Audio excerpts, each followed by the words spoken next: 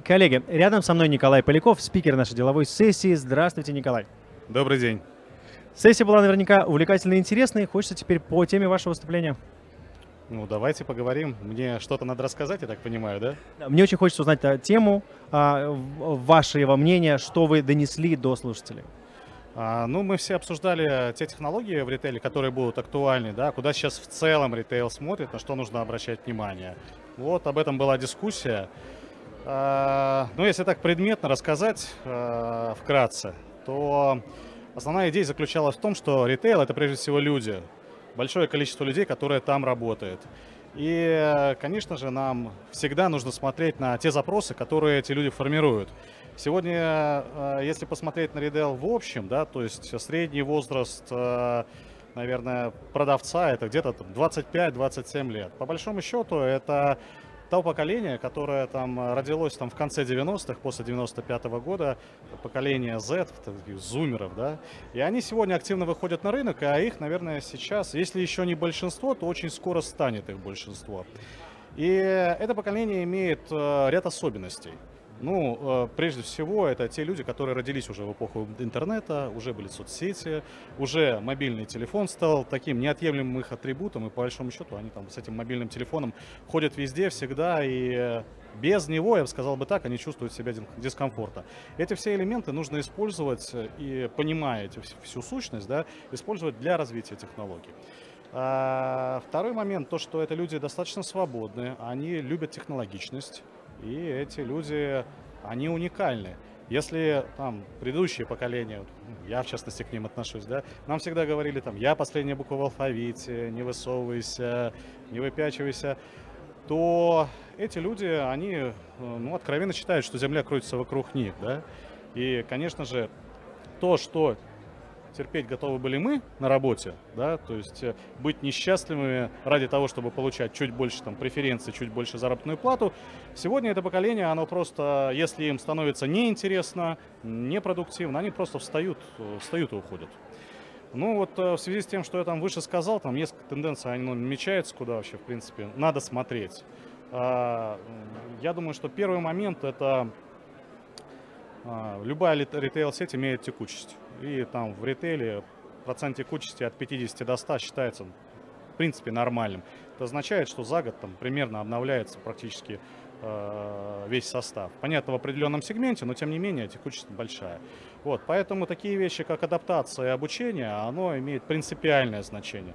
Если вы, там, современное поколение, будете обучать так, как обучали тех людей, которые там приходили к вам там 10-20 лет назад, то это будет крайне неэффективно. Потому что если, к примеру, там старшее поколение, оно читало тексты, то э, те, кто приходит сегодня, они могут читать только заголовки, да, то есть, но, с другой стороны, очень хорошее у них там такое э, восприятие потокового видео, контентного, качественного контента, да, то есть видео должно соответствовать определенным атрибутам полезности и качества. Поэтому формирование а, систем обучения, систем адаптации с помощью других инструментов, чтобы это была правильная траектория обучения, чтобы это был правильный интересный контент, а, чтобы он подавался вовремя и своевременно. Да? Это, конечно, задача ритейла, которую сейчас, сейчас необходимо решать. И я скажу так, что, в принципе, наверное, ну, процентов 70, если мы посмотрим на рынок, да, это все-таки старые технологии, хотя их уже давным-давно нужно поменять на новые. Второй момент это, это гибкие графики. Ну, это не, даже не, не, не просто те графики, которые вот мы там за кривой продаж что-то там смотрим, да. Это гибкие графики в более широком восприятии этого слова. Я уже не говорю про вот эти шаблоны и клише 2.2, 5.2, это вообще уходит в историческое прошлое куда-то, да. А, ну, наверное, там основной парадигмой становится то, что а, прежде всего нужно предлагать так, то, так, такой ритм работы, который э, будет удобен тому человеку, который приходит к нам. Ну, если так банально говорить, я хочу работать понедельник, среда, пятница и только с обеда. Да, то есть э, в принципе, вот это многообразие выбора, потому что э, формируется совершенно другой запрос, вот он, оно должно быть удовлетворено. И, по сути, кто его удовлетворит, тот, в общем-то, и снимет определенные сливки. Еще нужно понимать, что это поколение, оно родилось там в 90-е годы, это, это время такой вот демографической ямы, и этих людей не так много на рынке, их реально меньше, чем нам необходимо. Поэтому конкуренция за за их э, работу будет достаточно серьезная на, наш, на нашем рынке сегодня. Ну, наверное, третий момент, который бы я хотел осветить, это, это сама технологичность процесса. Да? То есть э, у нас сейчас есть много мобильных приложений для покупателей, ну, например, мобильное приложение для продавца, которое бы являло собой там единую точку входа информации, единую точку а, обработки информации, принятия решений на основании этой информации. Этого продукта практически нет ни у кого. Там компании можно перечислить по пальцам, которые как-то там развиваются.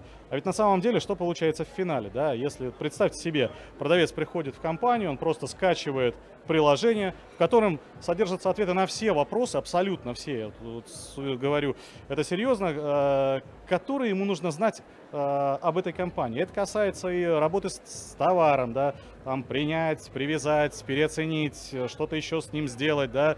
Это касается кассовых операций, да. Э, все абсолютно э, цифровые операции, которые можно проводить на кассе, можно проводить с помощью мобильного телефона. Это касается обучения, про которое я говорил выше, да, то есть э, это касается э, графиков работы, да, то есть где ты видишь это расписание, тебе будильники и мессенджеры напоминают. А если ты захотелось вдруг э, от чего-то отказаться, то это не должно там составлять какого-то большого особо сильного труда, да. Э, это касается, понятно, всех чатов, коммуникаций, обратной связи, ENPS и всего на свете, да. И по большому счету, то есть тот, кто сможет это сделать, тот, кто будет э, этому уделять достаточно большое внимание, тот, в принципе, также будет сохранять э, кадры, которые ну, будут достаточно ценны, ну, цены в любой момент времени, да, а в текущей особенно. Ну и плюс э, Вообще странно выглядит, когда вот там э, розничные сети, они наоборот там говорят, там, слушайте, так, мобильник оставь, оставь, оставь где-нибудь, да, то есть э, здесь надо думать, мне кажется, совершенно по-другому, потому что мобильный телефон, он должен быть не помехой, а он должен быть преимуществом, он должен быть помощником, потому что там, я не знаю, там, современный человек, э, молодой человек без мобильного телефона, ну, чувствует себя дискомфортно, испытывает какую-то ломку, да, вот сейчас мы даже если в любую конференцию зайдем в зал, вы увидите, да, спикеры выступают, все хорошо, но половина аудитории там что-то смотрит, потому что есть потребность, да. Но не надо лишать продавцов такой потребности, да. Нужно сделать таким образом, чтобы это э, просто увеличило их потенциал, ну, делало так, чтобы они находились в высокоресурсном состоянии. Ну, не знаю, может быть еще вопрос, вопрос пандемии актуален был э, вот до недавнего дня, и там масса негативных историй с пандемией было, но, но была одна и позитивная. Вот э, мало кто обратил внимание, но э, пандемия заставила нас немножко посмотреть по-другому на стационарный формат работы. Да? То есть мы всегда ездили в офис, в офисе там у каждого был свой стол, стул, кабинет где-то у кого-то. Да? Сегодня ну, нас пандемия научила работать дистанционно. И э, ведь это несет массу преимуществ. Ты не теряешь время, которое тратишь на работу. Ты, э, собственно говоря, формируешь определенную культуру, что ты вроде бы никуда не ездишь дома, и ты, у тебя рабочий день, наоборот, расширяется, да, ты успеваешь делать большее. С помощью современных технологий, Skype, Zoom, масса других, в принципе, не чувствуешь абсолютно никакой разницы да, между э, тем, что ты находишься в офисе, и между тем, что ты находишься дома. Вот. Но э, смотрите, что мы сейчас наблюдаем. Пандемия закончилась, 80% компаний зачем-то взяли, вернули людей на работу. Ну, говорят, что типа того, что вот э, в этой консервной банке, когда они сидят, они там как-то как эффективнее работают. Ну, на мой взгляд, полная ерунда. Вот, нет тут никакой зависимости. Мы за прошлый год открыли там порядка 300 магазинов.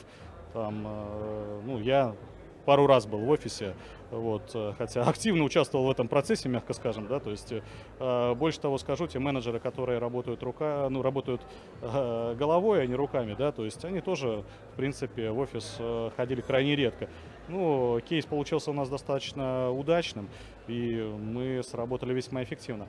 И плюс э, какой момент? Э, то, что когда у тебя э, распространен удаленный формат работы, то вопрос с, э, с наймом людей, он совершенно по-другому решается. Да? Там, если сегодня ты должен искать был людей в Москве, то с новым подходом э, к этому вопросу ты можешь искать людей по всей стране. И, кстати, зачастую это там, более грамотные люди и не такие дорогие, как э, формируется запрос в московской среде. Ну вот, наверное, вот в эти четыре направления, на мой взгляд, стоит смотреть. Я сейчас не говорю про банальщину, да, понятно, что куча процессов, которые надо улучшать, улучшать, улучшать, это все понятно, да, то есть я говорю про то, на что, наверное, сегодня пока не столь активно обращают внимание, а что уже становится актуальным. Замечательно. Я в процессе вашего а, монолога хотел кое-что добавить, потом понимаю, что добавить-то абсолютно нечего. Исчерпывающе, понятно. И главное, понятен и начерчен этот вектор, который должен привести нас к светлому будущему. Принимать плюсы, которые э, нас вынужденно заставили принять, и принять как плюсы, как э, улучшение нашей работы. Принять то, что обучение и та информация, которая у нас есть, это благо, но при этом поменялись люди, которые готовы принять эту информацию. Нужно поменять вектор э, доставления этой информации до этих людей, и тогда у нас все будет хорошо. Согласен полностью. Спасибо большое. Вам также. До свидания.